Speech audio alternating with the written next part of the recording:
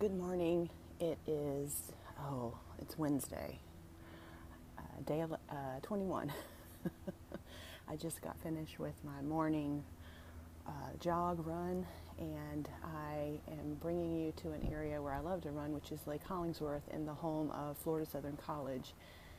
And I have several uh, pen pals that enjoy architecture and have asked me a little more about this area. So I think I'm going to walk around and show you some uh, snippets. This is the largest um, collection of buildings designed by Frank, Frank Lloyd Wright. And it's a college, and there are multiple buildings here. And in the background, this is what's called the esplanades, and it's the walkways that connect all the buildings. So, hope you enjoy.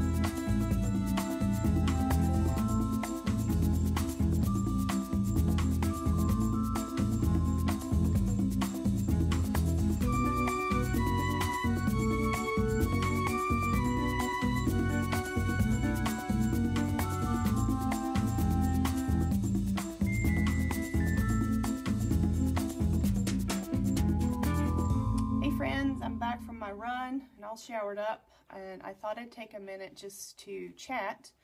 Uh, this is my third week doing YouTube and I already have questions from people and first of all I wanted to just say if you've been watching my videos thank you so much. I You cannot know how much it means to me. Um, this is definitely a project for me to learn something new and I have been receiving your messages on Facebook and Instagram and in your letters and also even on YouTube, and I cannot tell you how much they mean to me. Um, life happens to all of us, and this has been a very challenging year. And I have always believed that when uh, you're faced with something difficult, you you dive in to something new, and you just learn something totally new. And the the videos and the YouTube and the filming and the editing, it's um, not easy. Uh, and I certainly don't like putting my face in front of the camera.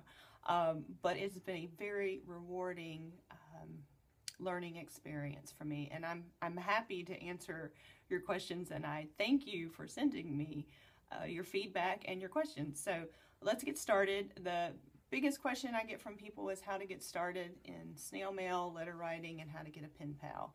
I'm going to quickly share my experience with you, uh, and hopefully it will inspire you. Um, and I apologize for the glare. Uh, anyway, a couple years ago, I was I was doing a wellness challenge, and each week we did something fun in addition to the fitness and the diet challenges. And one week we had to send out uh, five pieces of mail randomly to people that we knew, just to tell them how much they meant to us, and um, you know, just to do something nice. And I sent those out into the universe, had no idea I would receive anything back. And my lovely aunt in Virginia, who I had not seen in a while, I had no idea that she liked letters and stationery, but she sent me the most beautiful response letter on gorgeous stationery. Her handwriting was lovely and just told me how much my letter meant to her. And um, it was then that I realized that something that cost less than a dollar could mean so much to other people. And I decided to take it further. Now, I am an engineer, and it is very normal for me to assign projects to myself. I realize that's not normal and it's weird to most people, but um, those that know me know that I do this, so just bear with me on this. So I did assign myself a project to uh, send out 100 pieces of mail over the course of four months just to see what would happen. Uh, and I did that. Now, I limited that to friends and family. I posted this project that I was doing on Facebook. I let people know just to get a feel if anyone was interested. And um, people did contact me and they gave me their addresses, and uh, I sent out my 100 pieces of mail. Now, I was not expecting to receive anything in return. Um, but I will say I got about 40 pieces of mail back, and it was so much fun. People sent me postcards while they were on vacation. Um, people that I least expected that would be interested in mail were interested in mail. Like some of the, the very busy professional people in my life that I didn't think would have time to do such things. Turns out they were really interested in this as well. Um, and I, I enjoyed it so much that I decided to find others that were like me. And I thought I was weird all this time with my love of paper and stationery and pens and things like that. But no, there is a whole world of people just like me out there. And so I had to find them. now, the first thing I did, and I always recommend this as an easy way to get started if you want to go outside of your friends and family, is Postcrossing. That's the first thing I signed up for. It's a free website. You can exchange postcards with people all over the world, and I've had very good luck with that. And once I was comfortable with sharing mail with people I did not know, um, I moved on to researching pen pal groups, and there are a lot of them out there. And some of them weren't for me, and that's fine. But I always, always recommend uh, Letter Writers Alliance. Now you have to pay to be in that group. It's I think it's less than twenty dollars, but you get two pen pals with your membership, and you can you can say what age range. You know, if you just want to write to women of your same age group, that and that's what I did. And I started writing to two ladies who are just phenomenal. I mean, one of them is very artsy and sends me the most amazing things in the mail, and the other one is very much into her paper and her pens and that sort of thing, and just would write the most beautiful page, you know, multi page letters. Um, a great writer. Uh, so, in joining Letter Writers Alliance, I started to learn more about what was happening on Instagram because a lot of people in Letter Writers Alliance will um, post on Instagram and use the hashtag write more letters or hashtag letter writers alliance. And from doing that, I started to meet more people that were in Letter Writers Alliance. And people would send me, you know, direct messages on Instagram, and we would, you know, decide to be pen pals that way. And now I have about eight people that I write regularly. It's amazing. I receive some of the most wonderful things in the mail. Um, that being said, now, um, so I recommend Post Crossing and I recommend Letter Writers Alliance. As far as the Instagram, you do need to be careful. It is extremely overwhelming, and there are a lot of young people, uh, which is fine, on Instagram using the, the hashtag snail mail or pen pal or things like that, and you can find pen pals that way. It's, it's very easy. But I have a lot of moms that want their kids to start letter writing because they want to practice their handwriting. And I do tell them to make sure you are on top of that Instagram because, you know, you don't want your kids just giving out addresses. Now, I got a P.O. box just to be safe, and I wasn't really sure what I was getting into. Um, I've had very good luck, um, but um, just make sure um, you know what they're doing. The other thing that happens regularly on Instagram is those of us in the snail mail world, we love to share photographs of our mail and our mail art and things like that. But uh, most people know that you have to ha- hide the addresses, okay?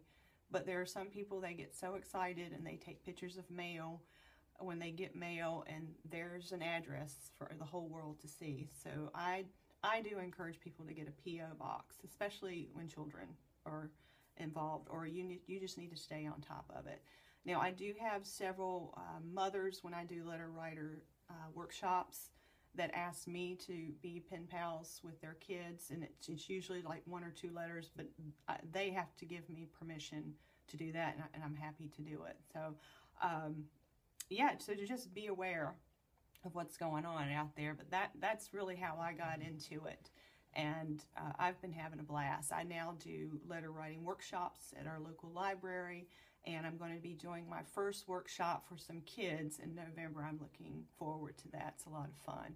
Letter writing is just a great way for kids uh, to practice their handwriting. I have a lot of homeschool moms that want their children to learn cursive writing and letter writing, and so they're big into the letter writing world. Um, the second question that I've been receiving is how do I get started with the Midori notebooks? Um, I don't want this video, video to be too long, but here's what I always suggest. Before you buy everything, the leather wrap and a bunch of inserts, uh, that can be pricey. What I did is I just picked up a couple of different types of inserts. There's so many, and this is really your personal preference, okay? And the individual inserts can run, here in the States, they're like six to eight dollars, I think. And there are several different versions. There's clear paper, I mean white paper, there's craft paper, there's line paper, there's grid paper, there's half grid paper, half diary, planners, you name it. Uh, Midori just nails it all. And I um, choose to use grid paper. I have this weird, weird need for grid paper, and it's because I went to engineering school, and in engineering school, we had to write everything on grid paper. And I find grid paper to be very freeing. Line paper to me uh, restricts me. It makes me feel like I have to write from left to right, top to bottom. I don't know why. It's just a wiring in my brain. Some people love lined paper. Uh, some people find white blank paper to be very intimidating. Other people do not. I like the white blank paper to do the smash booking that I do about once a month. But the grid paper is usually what I go for. Um, but if I were you, I'd just order maybe one or two little inserts and uh, decide how you want to use the notebook in your world. I'm going to have some more videos with other um, suggestions on how to use them. Um, but there's there's tons of information on the internet. Um, you can see how all types of people are using their Midori. And again, I, I uh, send you to Instagram and just look at the hashtag Midori Traveler's Notebook or Traveler's Notebook, and there's tons of photos of how people are using these uh, these notebooks. So I hope hope that helps. Okay, thank you roast chicken for dinner because I needed comfort food.